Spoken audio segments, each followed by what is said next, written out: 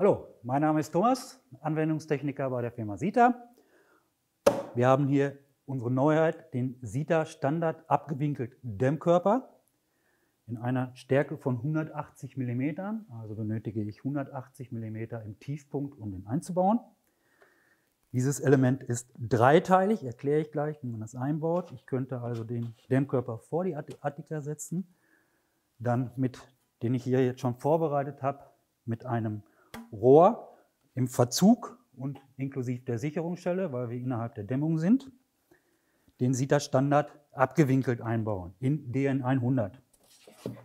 Ich setze ihn ein und schiebe ihn durch die Dampfsperrplatte und kann den dann so einfach positionieren, dass er in dem Dämmblock eingebettet ist. Ich setze das zweite Element als Kopfstück davor und das dritte Element würde ich dann hier hinsetzen. Das Ganze kann ich natürlich für die Hauptentwässerung nutzen mit einem Kiesfang oder ich nehme das Anstauelement, ähm, wo ich die Notentwässerung damit realisieren kann.